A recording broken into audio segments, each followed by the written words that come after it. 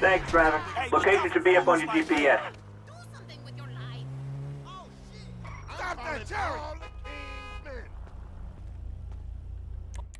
Let's get this chariot in motion!